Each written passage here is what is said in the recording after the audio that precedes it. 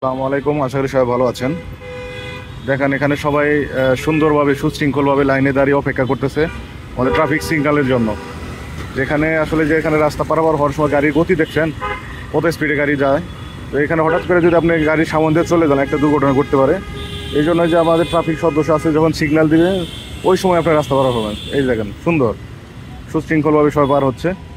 আর যেখানে foot over bridge আছে, সেখানে আপনার ফুটওভার ব্রিজ ব্যবহার করবেন।